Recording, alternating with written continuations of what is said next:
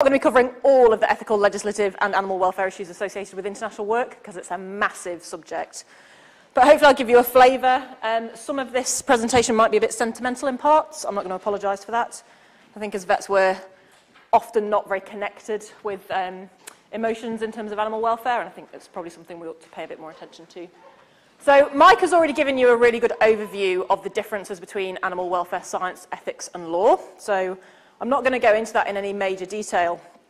But I do think it's important when we're working overseas that we have an appreciation of where we've come from. And I know that obviously that not everyone sitting in the room is from the UK. I totally appreciate that. Uh, so this will be different for, for all of us.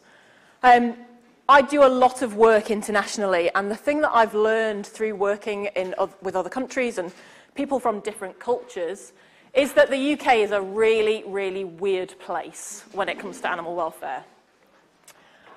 Anything about this timeline that stands out to you as being perhaps a bit unusual in terms of priorities? Yeah. Weird, isn't it? Yeah, so, uh, but that's, that's basically um, how, how the UK legislation development has, has worked. And uh, correct me if I'm wrong, James, but I believe that the NSPCC, the National Society for the Prevention of Cruelty to Children, was actually set up by the RSPCA because they were sick and tired of people phone, well, not phoning them, it was before the telephones, but writing to them, I expect, to complain about the fact that children were being abused. So we had the RSPCA for a considerable number of years before we had any kind of similar organisation for child protection. It was a slightly higher motivation than well, probably, yeah. but that's weird, isn't it? I mean, I think we can all agree, in terms of priorities, that is weird. And so I think when we are from the UK, I'm from the UK, uh, and we go overseas in our post-colonial attitude to tell other people how they should be treating their animals, um, it's really important that we recognise that our frame of reference is actually quite bizarre and that probably a lot of other countries have a slightly more pragmatic and reasonable approach to their priorities, and that's something that we should probably pay attention to.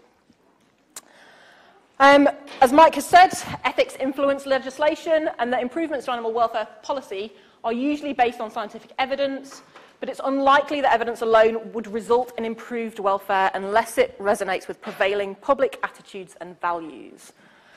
And so to improve welfare, it's all about that public opinion. It's about what we as a society deem to be ethically appropriate. And what is ethically appropriate within society will vary from country to country.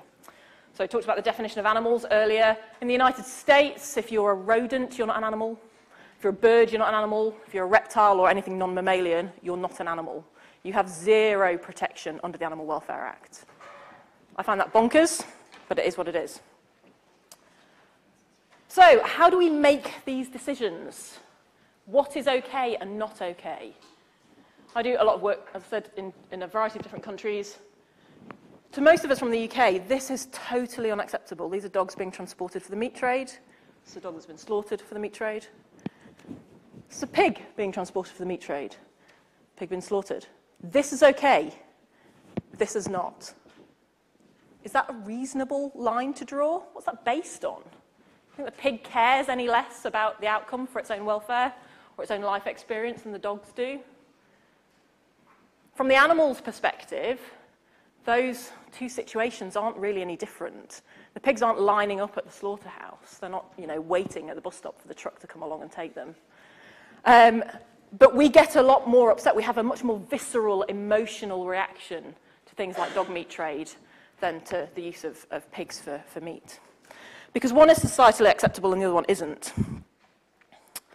So when we talk about welfare, I think it's really important that we do focus on the experience of the animal because our values, our morals, our judgments, our societal policy are, will all vary depending on our own viewpoint, our culture, our ethical analysis, whatever.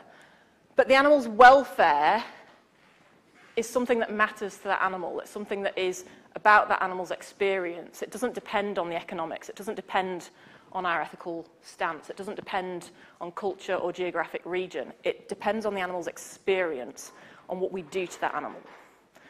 So the pig doesn't care that it's a pig, the dog doesn't care that it's a dog. They each care about their own experiences. And that's what we're talking about when we talk about welfare. So, what's good animal welfare? Pet dog at home, sleeping on the bed, nice life, it's got a friend. Is that good animal welfare, do we think, in general? What about if the dog is a border collie or a husky that's home alone for eight hours a day because its owner's at work? It's not always good, is it? But we tend to generally think that the welfare of our pet dogs overall is all right. What about working dogs?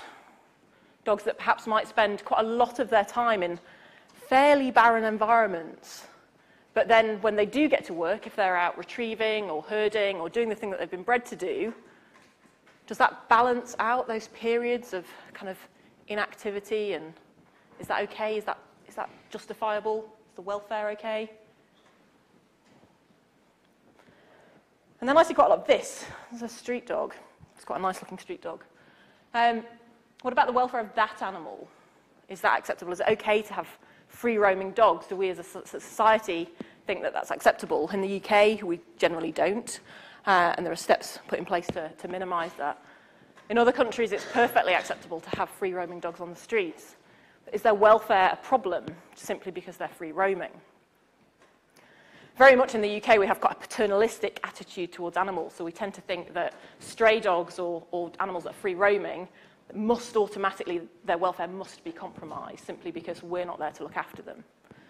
But that's not always the case. So we need to separate our own emotional responses from the welfare issues that those animals face. So how we judge or value an animal in society will depend on its category. Our pet dogs we value and cherish. Animals that we use for performance, for sport, for economic values are useful to us only because of what they, their extrinsic worth, what they can bring to us. And for animals that are a pest, that might be diseased or, or might be a threat to us in terms of things like aggression or, or disease transfer, rabies, then we will judge those differently. So just like Mike said with his mice analogy, how we value animals in our society depends very much on their role. But their welfare or their welfare needs are the same in terms of the five welfare needs uh, that we, we think that they need. So the role of animals in society is influenced by us, by our attitudes, by our beliefs about what we think is valuable for those animals, what we think those animals need, and ways that we think it's appropriate to use those animals. And that is actually a very subjective um, opinion. And our societal culture is made up of lots of those subjective opinions. Sometimes, as Mike said, it can be based on scientific evidence and that can influence um, societal opinion. But quite often it is, it's fairly subjective and it can be fairly irrational. We're much more likely to be empathetic towards animals that are phylogenetically closer to us, primates, chimpanzees. That's why, for example, it's illegal to test uh, on great apes across the EU. Why? Do they feel pain any more than a rabbit or a rodent? Do they have a greater capacity to suffer? Does int- is intelligence equivalent to ability to suffer? Um, and how animals look also determines uh, our perceptions of them and, and their value in our society. So essentially, animal welfare policy, animal welfare law around the world is determined by our beliefs. And our beliefs are fundamentally irrational. And that's why I think animal welfare science is really important, because we are just not very good at making decisions about how to treat animals in society or, or, or what we should do. Doesn't mean that we should shy away from that, but I think being aware of our own biases is really important, because if we can be aware of them, we can start to look for more objective evidence. And also, if we can understand the types of things that influence our decisions, I think that that's really useful, coming back to the, the theme of this presentation, which is about working overseas, is that we are often quite very influenced by our own cultural perceptions. And as soon as we move overseas and we live overseas, as some of you have come to the UK, you'll find that it is very different and there are different cultural priorities and different societal priorities. And if we can understand the things that motivate and drive how we make decisions, then we can start to understand why other people have different beliefs and why other cultures value animals differently. And if we can understand that, that makes for a more effective uh, working environment. So, I've been working overseas for about 10 years, and one of the reasons I really like international work is that it's a constant learning curve. Every day is a school day. I'm constantly learning things. I think one of the reasons that um, I've been uh, successful, if you can call it that, um, is because when I graduated, I didn't really have any interest in working overseas. I wanted to be a zoo vet, and I was a zoo vet for a while. And I got very disillusioned with that. Romain has alluded to some of the challenges this morning. Um, but I also had a solid mixed practice background, so really good or solid at least general practice uh, medical and surgical skills. And that fundamentally would be my take-home message for this presentation, is that if you've got any interest in improving animal welfare or improving veterinary work overseas, make sure you have the skills and knowledge to do so international work, particularly in developing countries, is not a place where you go to learn veterinary skills. You need to consolidate those skills before you go into a more challenging environment and, and try and, and deliver you know, good veterinary services. Preparation is really important. Make sure you know what kind of situation you might be going into. Um, think, consider things like drug availability. Um, consider things like your budget, if you have one, um, any logistics relating to travel or veterinary licensing. I'll talk about some of those issues in a minute.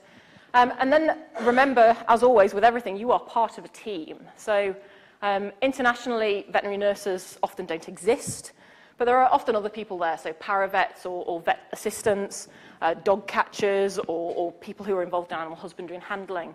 And a lot of those people will have often no education or training uh, from a, in a formal sense. Some of them may well be illiterate.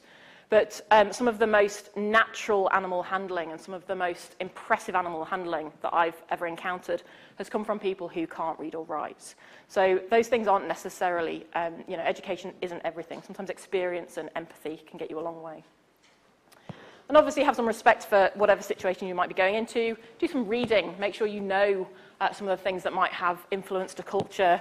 Um, you know, have a, a think about some of the, the political issues that you might face or, or um, religion or, or economics. I was um, at a presentation a couple of years ago in, in Romania at a conference and I was watching a colleague give a presentation, it's from the United States, and he put up uh, a slide of a TV show that used to be popular in the United States about, about 30 years ago. And I can't remember what context it was in, but he, he, was, he said to the audience of people in Romania, so, um, did any of you used to watch this TV show as a kid? And I sat in the audience and went, oh, God. Does anyone know what's happening in Romania 20 to 30 years ago? Yeah, Ceausescu. Like, nobody had a TV. People were starving to death. They certainly weren't watching American cartoons on their non existent TVs. And in that moment, he lost his audience because the, the whole of the audience just went, you don't know us. You don't know us, you don't know anything about us, and you're here trying to tell us about animal husbandry and how we should keep our animals, and yet you don't know us. And I just saw the room switch off. So understand your audience, understand the type of situation that those people might have experienced and the challenges they may have experienced. So I'm asked this question quite a lot, how can I get involved? And um, this is where I become a bit negative, and I apologise for that, it does improve. Um, but my first question would be, what can you contribute? It's great that as veterinary students you have enthusiasm, and I absolutely would not want to undermine that. But in general, you are very inexperienced. You're not going to be surgically competent or medically competent. And it's very, very easy as a veterinary student to get yourself, or as a new graduate vet, to get yourself into a situation where you don't have the skills or the knowledge or the expertise to cope with that situation. And that can be incredibly psychologi psychologically challenging for you. Uh, and it can also obviously impact on animal welfare. What's your motivation? Do you want to go and work in a spay neuter project in Eastern Europe or Asia because you want to practice loads of surgery on animals? And the ones that are out there are less sentient than the ones in the UK? Because they're not.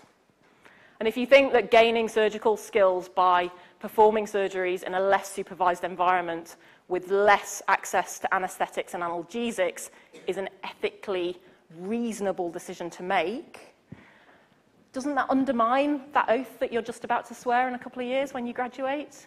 Because it's not just about the animals in the UK, it's about all of the animals that you'll interact with. How emotionally resilient are you? Even if you are well prepared and have good intentions, you might see things which you find really distressing. I've taken a couple of colleagues out to Asia um, recently. Keep mentioning Asia just because it's the area where I, I do a lot of work.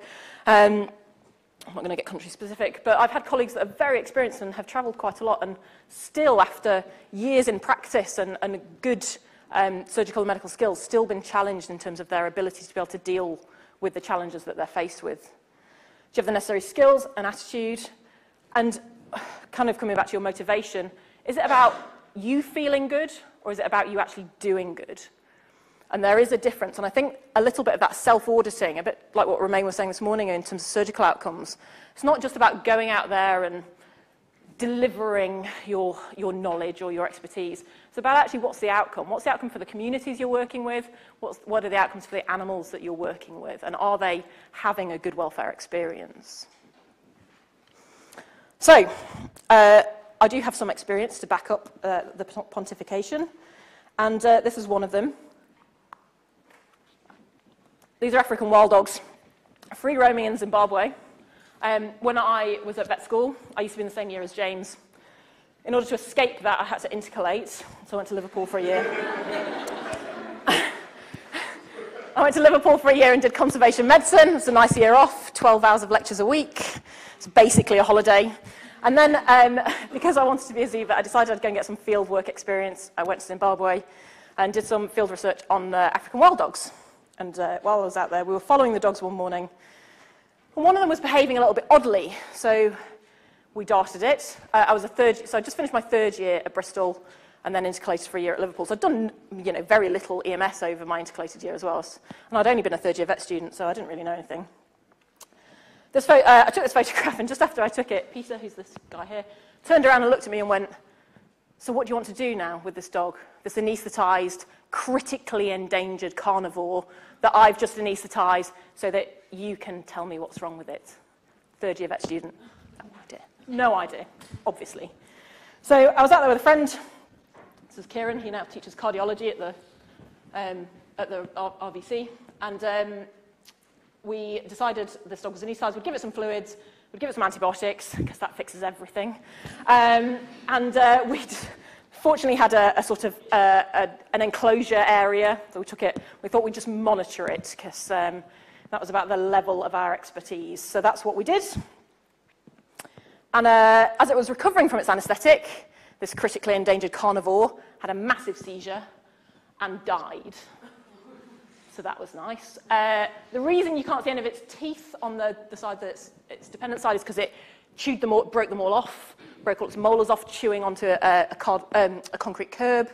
And the reason this leg looks a bit odd is because it's broken. It fractured its humerus as well. So it seizured so violently that it managed to break its teeth and, it, and its leg. So, so what do you do in that situation?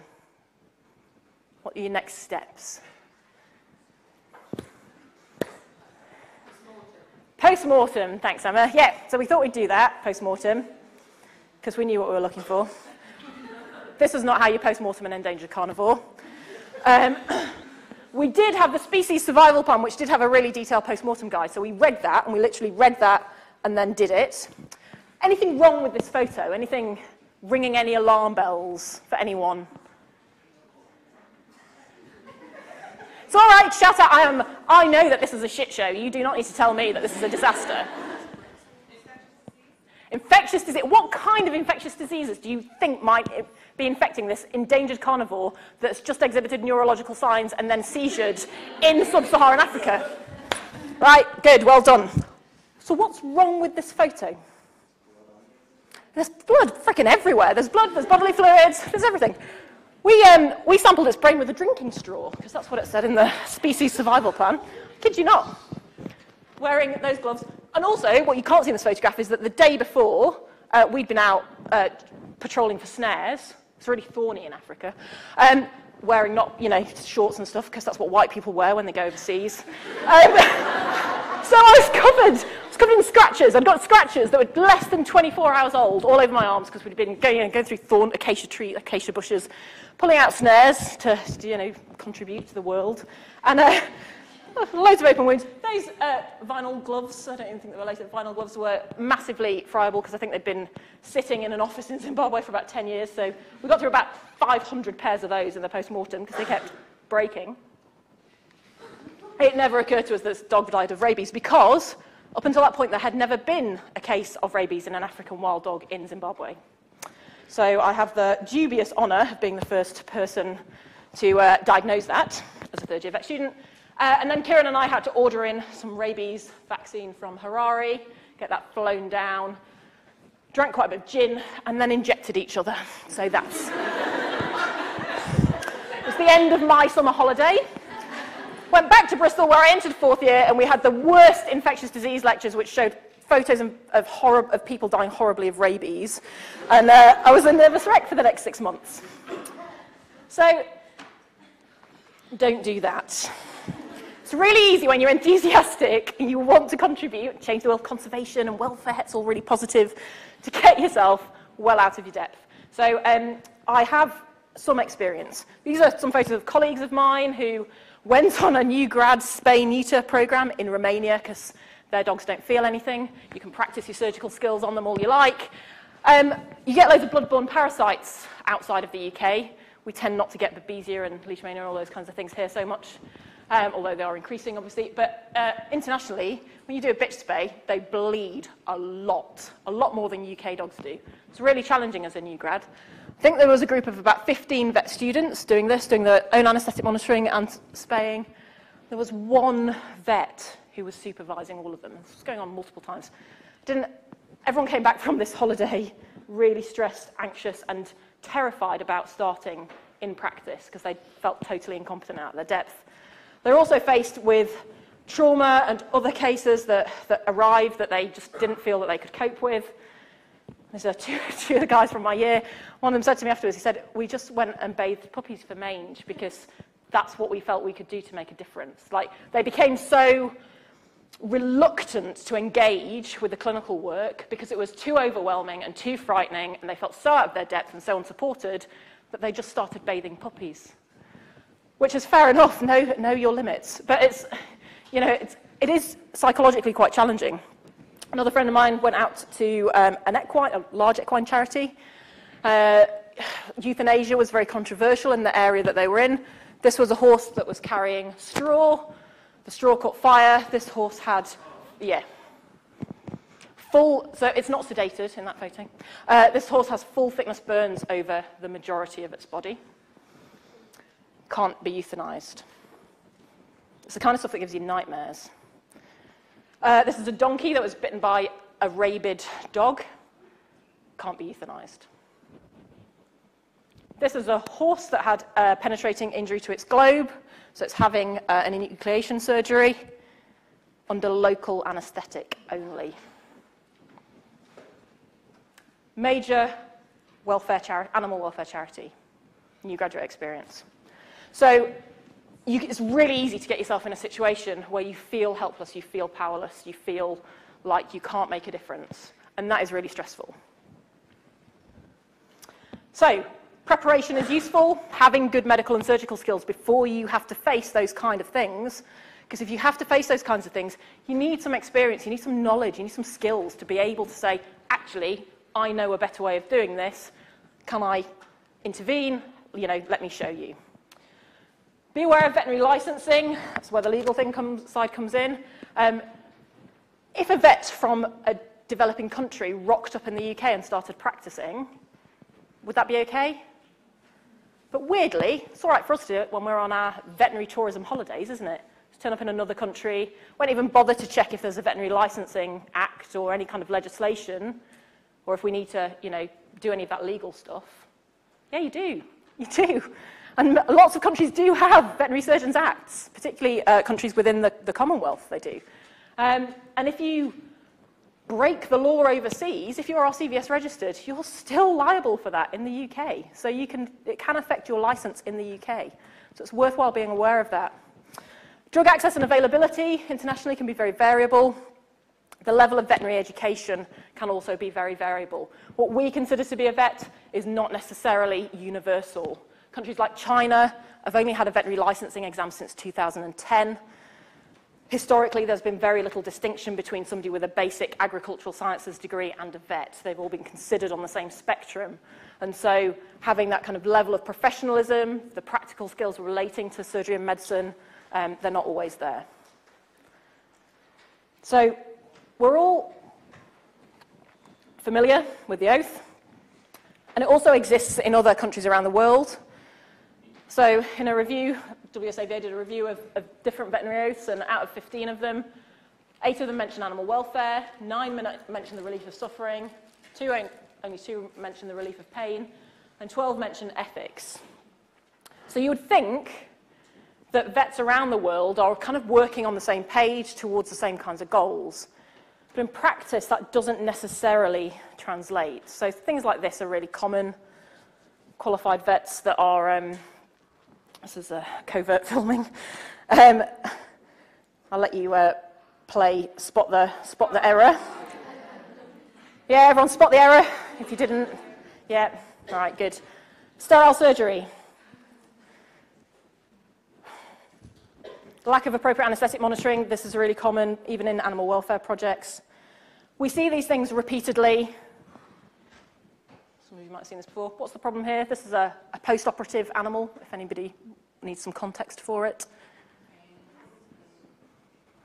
Yeah, so post-surgical pain, not being recognised, not being assessed. Those are the kinds of things we see routinely, even in projects run by animal welfare organisations or funded by animal welfare organisations. Often it's due to uh, a lack of veterinary training or awareness or a lack of uh, paraprofessional training or awareness on the ground. So we can't always assume that there are the veterinary skills out there to be able to deliver good animal welfare. Um, and the, the lack of uh, veterinary skills and our lack of ability to influence those, particularly students or new grads, can be very emotionally challenging. Um, I got uh, Jess to have a look at some of these photos before they put, put them in because I didn't want to you know, be too negative, but after Paula's talk, I'm feeling like this is almost a happy place. Um, but, um, you know, the intentions are good. You know, let's pin this dog down for x-rays. It's been hit by a bus, by the way. Um, yeah, look at its leg. It's awesome, isn't it? This one, this has been treated by a vet. Look, it's got a bandage on it. That's fine. Veterinary treatment. Um, stray dogs that nobody cares about are really common. This was a friend of mine just sent me this the other week. She's not a vet, but uh, she's very sensible. Sent it to me and said, What do you think about this cat? Uh, it's a stray cat. It's still eating, uh, but I'm really worried. Uh, there are loads of stray cats it's in the Middle East, loads of stray cats around here. Nobody really wants it. Um, I'm really worried about its eye being painful. Um, what, what, do you think we should do with it? And uh, I looked at it and said, oh, I think that's got a ruptured globe, which will be very painful for it needs either medical treatment or, or euthanasia, no money for medical treatment. So it was euthanized and they cleaned it up, and actually the globe was massively ruptured underneath. But um, it was pretty miserable, they were found other things after they sedated it. But making decisions, often with very limited diagnostics, and often with animals, if they're not um, used to human contact, they might be difficult to handle. Um, you know, it's really challenging. And as a new grad, to put yourself in situations where you might have to deal with clinical decision making around these kinds of cases, it's, um, it's a difficult situation to be in. Even good intentions can lead to um, inadvertent consequences. This was something I was dealing with quite recently. Um, so I've been doing some work in Sri Lanka, colleagues in Sri Lanka at the Sri Lankan Veterinary Council, because they have that, along with the Veterinary Surgeons Act in Sri Lanka, which legally sets down who can and can't practice veterinary medicine in Sri Lanka, have been a bit upset with, unfortunately, British vets going into Sri Lanka and practicing without registering with the Sri Lankan Veterinary Council uh, and therefore essentially breaking the law. And um, that has created problems for other animal welfare organisations who are working in Sri Lanka in a legal capacity. So um, good intentions can still create uncomfortable outcomes, not just for the people involved, but also for the wider profession. So it's worthwhile being aware of that.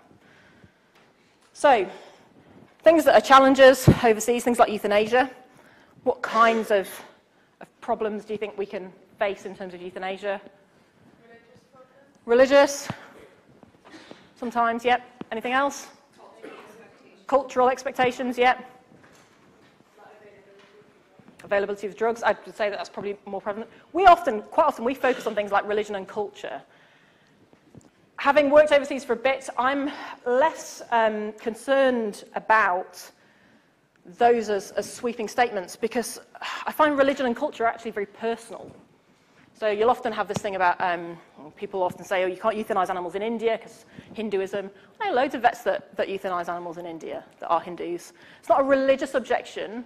Quite often it's a cultural concern because of drug availability and reputational risk is a massive thing to a lot of vets in India. Because if they're seen to be euthanizing an animal, even if it's obviously suffering, they're being seen often to not try. They're failing as vets because they haven't fixed it.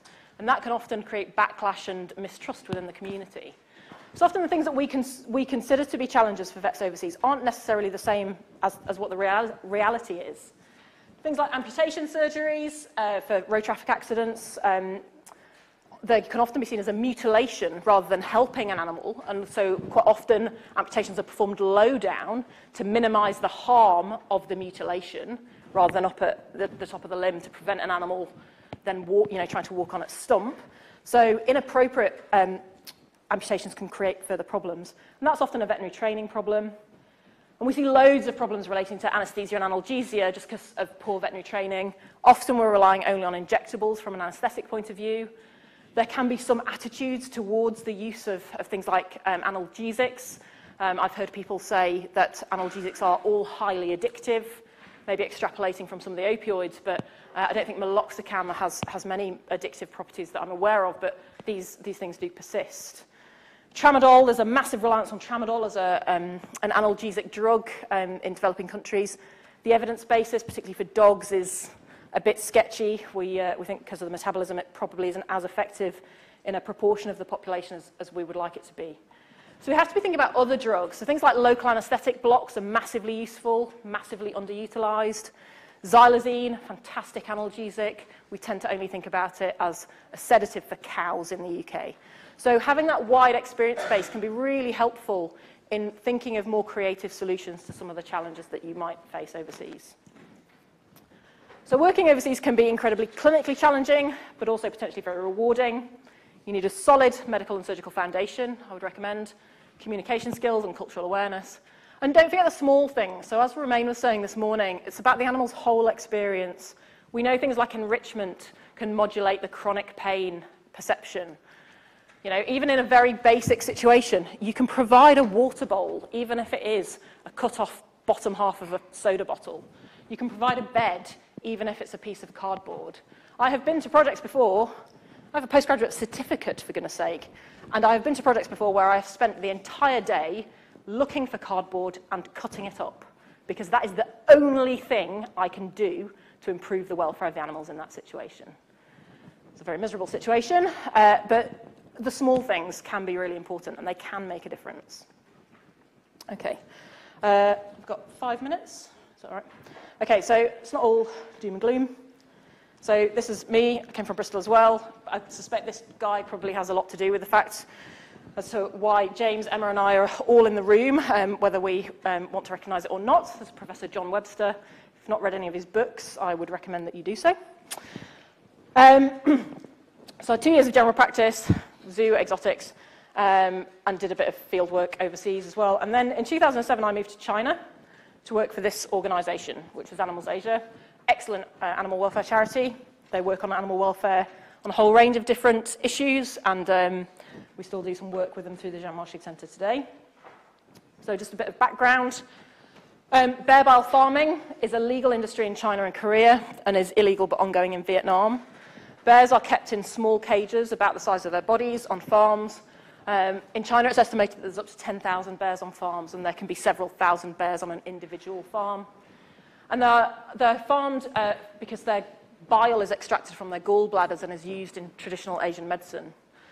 Um, it has very high levels of an active ingredient called UDCA. If any of you are familiar with Destolit or other UDCA preparations are available, uh, then there is good medicinal um, evidence for its use in certain conditions. So it's certainly not um, voodoo in terms of, of the medicinal properties. However, there are alternative pharmaceutical preparations available. So we don't need to harvest bile from bears in order to, uh, to access those drugs. The mechanics of it, uh, the fleshy things are gallbladders. That's where the bile is stored once it is produced by the liver. And basically, um, what happens is that a fistula is made in the abdomen of the bear The gallbladder is pulled ventrally and sutured to the abdominal wall, and then you've got a continuous outflow of bile from that gallbladder to the outside world. Obviously, the body tries to heal that, so you can implant metal or latex catheters into the fistula to make sure that you've got a continuous flow of bile. And that bile is worth weight for weight more than gold in the, in the uh, pharmaceutical industry. Welfare implications, it's not very comfortable. Um, this is a normal bear gallbladder on the left and uh, a fairly representative gallbladder from a, a, a bear on the right. I've probably done cholecystectomies on, I can't even remember, probably nearly 100 uh, bears by now. Um, and um, this is a fairly kind of representative um, image of a, of a gallbladder. You can see the difference between the, the farmed and the non-farmed um, gallbladders. So we get chronic cholecystitis, we get abscess formation, we get choleliths. Uh, there's a whole range of hepatic inflammatory um, processes that occur. We get um, lots of um, liver tumours and gallbladder tumours, uh, peritonitis, loads of problems, in addition to all of the other problems that we see from farmed bears, so things like teeth being knocked out, um, animals with ocular disease because of nutritional uh, compromise, general emaciation, animals snared from the wild, so you can see the snare mark on the paw, uh, general skin disease, and cubs being trafficked from the wild to fuel the trade. So there are multiple conservation and welfare issues associated with the production of um, bears for bile. So with that background, just going to show you a video of, um, ah, which might pause that for a second. So this was made by a, a Chinese film crew like when I lived in China. This is the last rescue I was involved in, which was in 2010. Rescue of 10 bears from a farm to Animals Asia's uh, Rescue and Rehabilitation Centre, which is used as an educational facility in China to um, raise awareness of the welfare issues surrounding the bear bile trade. Um, at this point, I've been working for Animals Asia for nearly four years. It's very experienced. I've done nearly 100 cholecystectomies, uh, had a great team working with me um, and had you know, done multiple rescues from farms. But even so, this was a hugely challenging rescue for me. And um, I think it just kind of hopefully shows you that in terms of animal welfare, societal support is really important, public support is really important.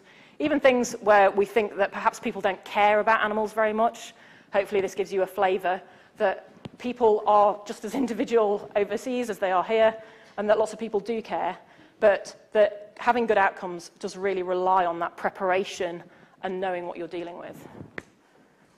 I don't know if we'll get sound. Mm.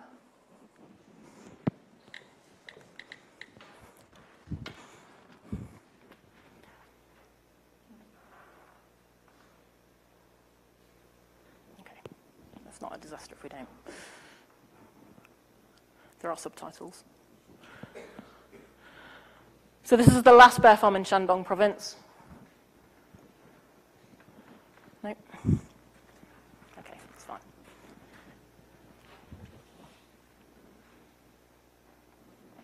So these are some, excuse me, some of the guys that I used to work with. We had 10 bars on this, 10 bears, sorry, on this farm. We had to get them all out in a day.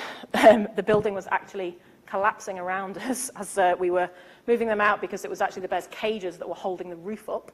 So we had to manage to get the bears out of the cages by breaking the cages open, but without the building collapsing on us. So that was a logistical challenge. That's me when I was a lot younger. Um, every bear was anaesthetized. They all had an initial health check, and then they were loaded to larger cages on the back of trucks, and we drove them across China. It's quite a big place. And if anyone knows Chinese geography, Shandong to Sichuan, it's quite a long way. Um, so we had a convoy of two trucks and then a bus where I spent three days without showering. That was nice. Uh, the bears were medicated. They needed analgesics because they hadn't moved for a long time, for some of them up to 25, 30 years. They'd been on the farm. Um, so we analgesed them, obviously fed them, uh, and monitored them the whole way. One of the bears, a brown bear that was probably the most elderly bear we were dealing with, um, didn't eat the whole time that we were there. And then when we were just outside Beijing, we got stuck in the longest traffic jam in Chinese history. It lasted for over 24 hours. There were no toilet facilities on that motorway. I'm going to leave that to your imagination. Wasn't very nice. Oliver, who was our, uh, our oldest bear, um, hadn't eaten the whole time and was getting worse. Increased respiratory rates, showing signs of abdominal discomfort. We anaesthetized him, ultrasound scanned him. We were concerned about peritonitis from his fistula because the farmers had interfered with that. Our amazing Chinese team got the local traffic police involved, and we were moved out of the traffic jam. We had an awesome team of veterinary nurses, and so everything that we needed was on that truck. Everything was ready, and um, they do have TV in China, um, but this was really interesting. So when we got the truck in the car park, we had, I think, nearly 200 people rocked up from the local community just to come and, and watch us doing surgery. So this is a cholecystectomy on an endangered brown bear with a film crew on the back of a truck. um, and also a, a gastropexy, uh, with a film crew on the back of a truck um, with basically no facilities apart from what we had.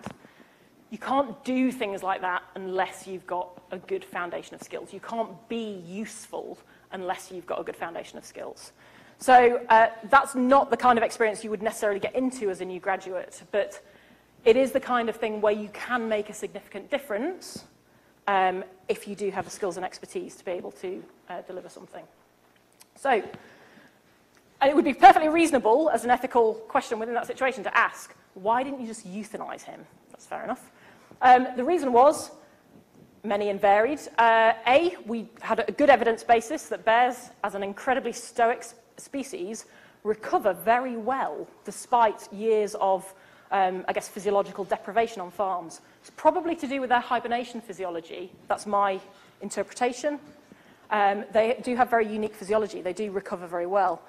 Um, also, from a, I guess, a, an, an organisational point of view, when you turn up to rescue animals, if you then start immediately euthanising them, that's a bit of a challenge. You, you, again, you need to be seen to be giving them a chance. How justifiable that is is, is debatable, but it is a real, a real thing that we need to consider, your ethical obligation to the organisation that you work for.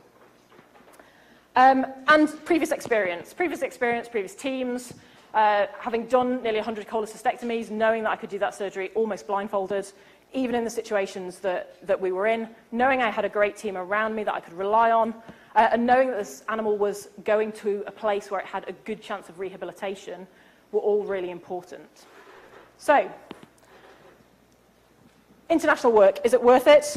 I'm almost done. Uh, yes, because you get to work with loads of cool animals, you get to work with loads of amazing people, uh, you get to meet lots of interesting animals. So from a personal satisfaction point of view, you get awards sometimes if people nominate you. Um, it's very rewarding.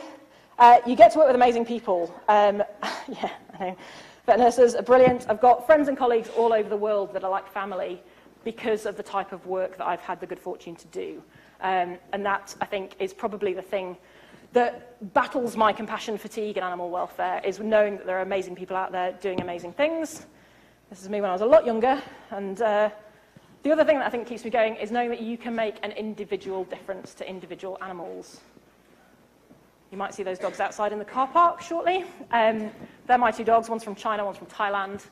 And you won't change the world by saving an animal, but you will change that animal's world. And I think that we can all do that. Thank you.